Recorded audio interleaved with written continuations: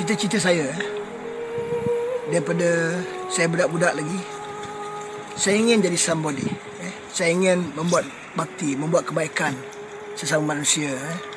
dan uh, saya ingin meninggalkan dunia ini sebagai seorang yang baik eh. a good man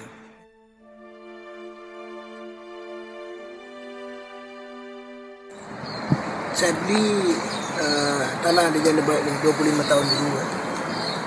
Dan saya berbudi kepada tanah eh. dan hasilnya yang kita nampak hari ini dia masuk ke sebuah taman yang sangat cantik eh. yang ada beribu-ribu pokok ratusan jenis daripada merata dunia tapi tak ada pintu pagar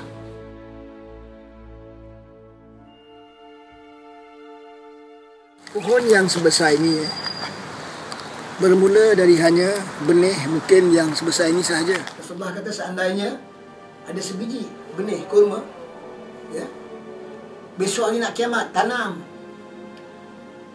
Apa untung kita tanam pokok? Apa yang berlaku pada dunia hari ini? Global warming. Apa penyebab global warming? Kenapa hari ini kita tengok cuaca tak menentu? Siapa yang mesti disalahkan? Manusia sebaik-baik manusia adalah manusia yang boleh membuat sebanyak-banyak kebaikan kepada seramai-ramai manusia.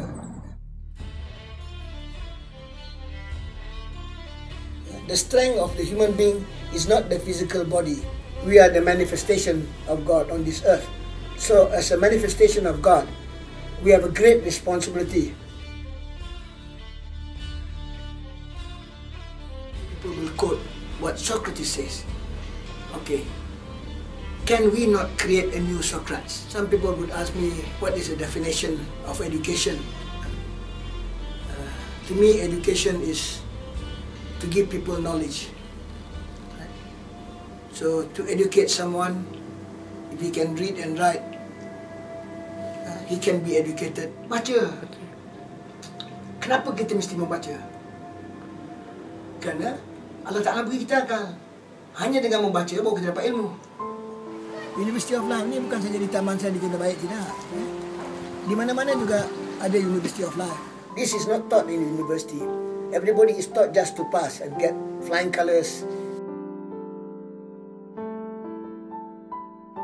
Banyak orang bijak pandai eh, yang even bertaraf arif dalam mahkamah. Tetapi dalam kehidupan dia, dia menunjukkan kebodohan-kebodohan dia kerana dia tak ada jiwa. Kita mengamalkan apa yang dikatakan rukun lima Islam bukan sekadar ritual. Islam harus ada spiritual. Di sini dia keluar daripada University of Life, dia dapat satu benda sahaja. Ya? Iaitu dia dapat ilmu tawakal.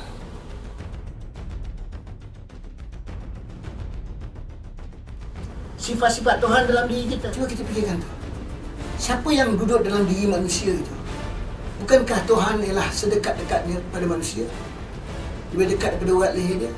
Kalau dalam diri kita ada Tuhan, dalam diri manusia lain pun ada Tuhan juga. Orang-orang yang hebat-hebat, yang ada wang ratusan juta, eh? orang yang terkenal, termasyur, eh? sama dia seorang film star, seorang ahli politik dan sebagainya. Mereka hidup dalam stres. Eh? Mereka tak dapat ketenangan. Kita nak kena buang air itu masuk air baru kalau itu juga air yang duduk dalam gelas tu kita minum tak sedap.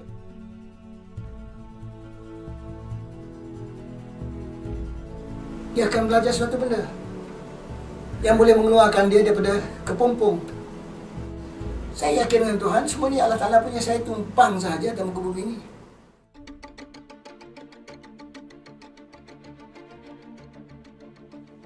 But you never realize that you're not rational at all. You think you are smart. You're not. A superhuman is someone who has a super mind, right? who will be remembered a thousand years after his death. That is a superman. That is a great man. He leave a legacy behind.